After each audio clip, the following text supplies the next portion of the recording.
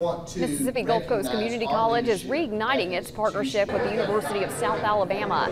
MGCCC President Dr. Mary Graham met with USA President Joe Bonner to discuss their plans with this partnership.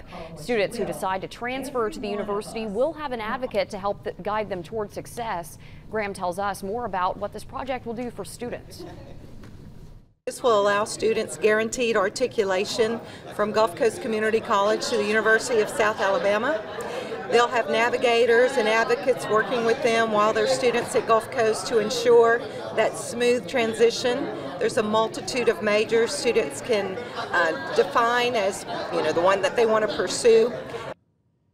President Bonner also plans to start a bus program that will pick up MGCCC students and high school students, bringing them to the university for a guided tour.